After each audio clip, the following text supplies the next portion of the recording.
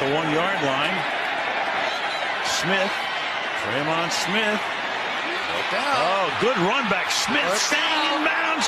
And Tremon Smith is going to take this one all the way inside the five yard line. Skirting the sideline. Devin McCourty saves the touchdown for the moment.